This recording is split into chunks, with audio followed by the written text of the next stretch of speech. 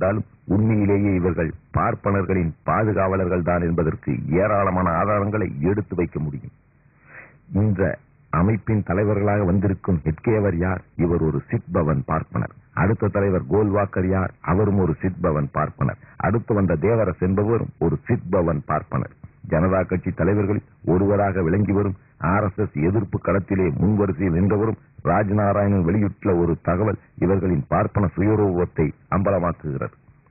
ஆயிரத்தி தொள்ளாயிரத்தி எழுபத்தி ஒன்பதாம் ஆண்டு இருபத்தி ஐந்தாம் தேதியிட்ட சண்டே வார இதழுக்கு ராஜ்நாராயண் அளித்த ஒரு பேட்டியில் இவ்வாறு குறிப்பிடுகிறார். கடந்த நாற்பது ஆண்டுகளாக ஆர் எஸ் எஸ் அமைப்பை நான் மிகவும் துல்லியமாக கவனித்து வருகிறேன்.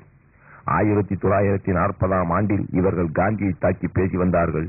நாற்பத்தி இரண்டு ஆகஸ்ட் ஒன்பதாம் தேதிக்கு பிறகு காங்கிரஸ்காரர்களை தாக்க ஆரம்பித்தார்கள். தொடர்ந்து பிரிட்டிஷ்காரர்களின் உளவாளிகளாகவே இவர்கள் செயல்பட்டார்கள். அவர்களுக்கு ஒரு கொள்கை உண்டு.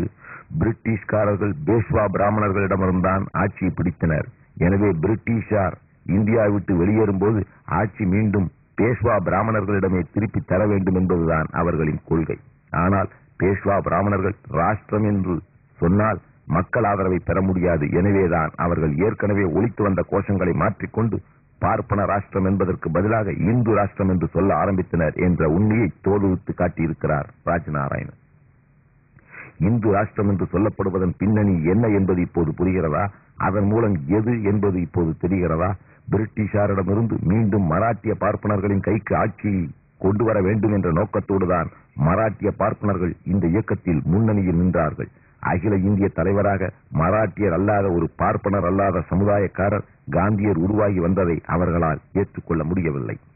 பிரிட்டிஷாரிடமிருந்து விடுதலை கிடைக்க வேண்டுமானால் அந்த விடுதலையத்துக்கு இயக்கத்திற்கு ஒரு மராட்டிய பார்ப்பனரே தலைவராக இருக்க வேண்டும் என்பது இந்த சதி கூட்டத்தின் வெறித்தனமான கருத்தாக இருந்தது. இந்து மகா சபையின் முன்னணி தலைவரும் ஆர் எஸ் எஸ் இயக்கத்தின் முன்னோடியுமான டாக்டர் பி எஸ் மூஞ்சி என்ற மராட்டிய பார்ப்பனர் காந்தியருக்கு எதிரான சதியை துவங்கி நடத்த ஆரம்பித்தார்.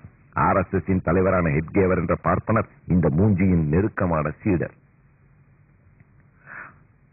அனாமதேய மிரட்டல் கடிதங்களை எழுதும் இவர்களின் அற்பத்தனங்கள் இன்றைக்கு மட்டுமல்ல அன்றைக்கும் இருந்தது அன்றைக்கு காந்தியருக்கே ஒரு மொட்டை கடிதங்களை எழுதின இந்த கூட்டம் எழுதியது. காந்தியே பாலகங்கார திலகரை போல் இந்துக்களை ஒன்றுபடுத்தி இந்து அடிப்படையில் சுயராஜ்ய போராட்டத்திற்கு போராடாத நீ ஒரு கோலை என்று காந்தியருக்கு மிரட்டல் கடிதங்களை எழுதினார்கள்.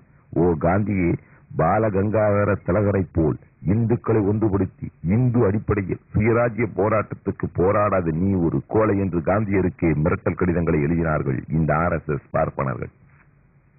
காந்தியர் மனம் குமுறி போய் யங் இந்தியா பத்திரிகையில் இதற்கு என்ன பதில் எழுதுகிறார் தெரியுமா? யங் இந்தியா ஜூலை பதிமூணு ஆயிரத்தி தொள்ளாயிரத்தி இருபத்தி ஒன்று எனக்கு அனாமதேய கடிதங்கள் வருகின்றன. திலகர் வழியில் ஏன் செல்லவில்லை என்று அதிலே கேட்கிறார்கள். நான் சொல்லிக் கொள்கிறேன் என்னுடைய முறை திலகர் காட்டிய வழிமுறை அல்ல. அதன் காரணமாகவே எனக்கு பல மராட்டிய தலைவரிடமிருந்து தொல்லைகள் வரு- வருகின்றன என்று மனம் குமுறி எழுதுகிறார். ஒரு பார்ப்பனர் அல்லாத மராட்டியர் அல்லாத காந்தியரின் அரசியல் செல்வாக்கை எதிர்த்து அந்த காலத்திலே கொடி தூக்கிய பார்ப்பன வகுப்புவாத வெறிகும்பல் தான் இந்த ஆர் எஸ் எஸ் கூட்டம். அவர்கள் கூறும் இந்து ராஷ்டிரம் என்பதும் பார்ப்பன ராஷ்டிரம் தான் என்பதற்கு இன்னொரு உதாரணத்தையும் சுட்டிக்காட்ட முடியும். ஆர் எஸ் எஸ் காரர்களின் வேத நூல் அவர்களால் போற்றப்படும் ஒரு நூலை ஆர் எஸ் எஸ் தலைமை கோல்வாக்கர் எழுதியிருக்கிறார். இந்து ராஷ்டிரம் என்றால் அது எப்படி சமூக அமைப்பு கொண்டதாக இருக்க வேண்டும் என்பதற்கு பழைய கால நிகழ்ச்சி ஒன்றை பெருமையோடு எடுத்துக்காட்டி இதுதான் இந்து ராஷ்டிரம் என்று மார்தட்டுக் கொள்ளுகிறார்.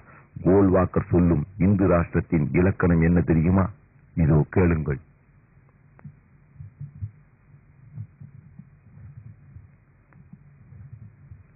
தென்னாட்டில் ஒரு ஆங்கிலேய அதிகாரி இருந்தார். அவருக்கு உதவியாளராக அந்த மாநிலத்தைச் சேர்ந்த ஒருவர் இருந்தார். அவர் நாயுடு வகுப்பைச் சேர்ந்தவர். அந்த ஆங்கிலேய அதிகாரியின் பியூனாக இருந்தவர் ஒரு பிராமணர். ஒரு நாள் அந்த ஆங்கிலேய அதிகாரி தனது பிராமண பியூன் பின்தொடர வீதியில் நடந்து சென்று கொண்டிருந்தார். அப்போது எதிரே அவரது உதவியாளராக இருந்த அந்த நாயுடு சமூகத்துக்காரர் வந்தார்.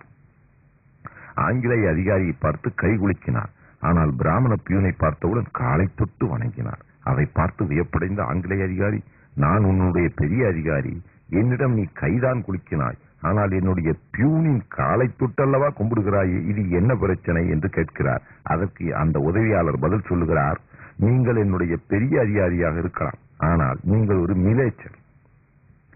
அவர் ஒரு பியூனாக இருக்கலாம் ஆனால் நாங்கள் வணங்கக்கூடிய பிராமண சமூகத்தைச் சார்ந்தவர். அவரை தொழ வேண்டியது எனது கடமை என்று பதில் சொன்னார். இதுதான் இந்து தர்மம்.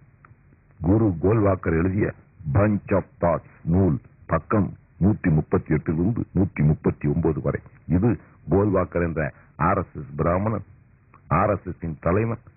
தன்னை பெருமிதத்தோடு சுட்டிக்காட்டுகின்ற வரிகள் தான் அவர் எழுதிய சொந்த புத்தகம் பஞ்ச் ஆஃப்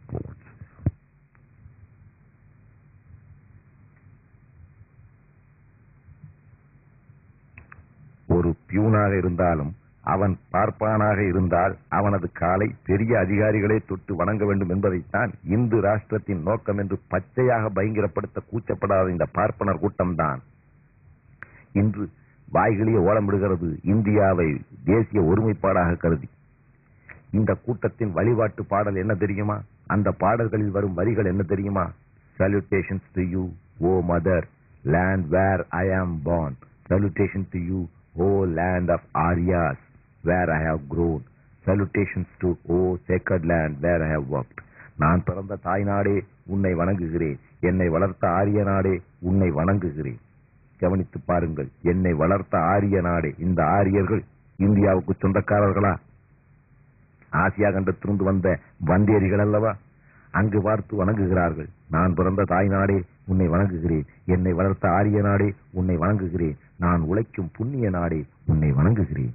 இதுதான் ஆயிரத்தி தொள்ளாயிரத்தி முப்பத்தி ஒன்பதாம் ஆண்டு வரை இந்தியிலும் மராட்டியிலும் இவர்கள் பாடிய பிரார்த்தனை பாடல். மராத்திய மொழியிலிருந்து ஆங்கிலத்தில் மொழிபெயர்க்கப்பட்டு அந்த பாடல் இங்கே தமிழிலே தரப்பட்டிருக்கிறது.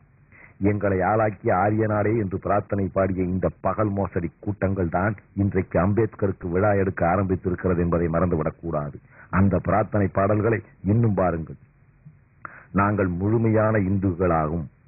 நாங்கள் முழுமையான இந்துக்களாகும். குணத்தை விரைந்து தாருங்கள். உங்கள் கடவுள்களின் சக்திகளை எங்களிடம் புகுத்துங்கள். எங்களை ராமனின் சீடர்களாக்குங்கள். நாங்கள் நம்பிக்கையின் காவலர்களாவோம்.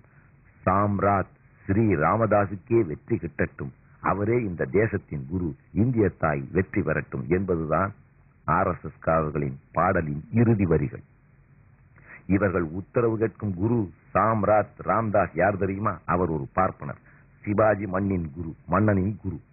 இவர் சிவாஜி மன்னன் இருந்தான் அல்லவா? சத்ரபதி சிவாஜி. அவரின் குரு.